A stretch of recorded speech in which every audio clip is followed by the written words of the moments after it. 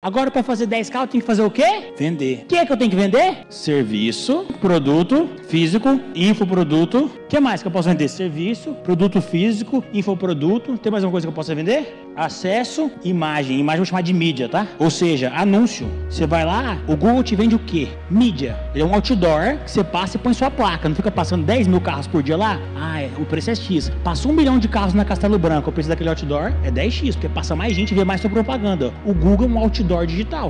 O Facebook é um outdoor digital. No mundo tradicional tá outdoor, fica na beirada da rodovia. No mundo digital tá o Facebook.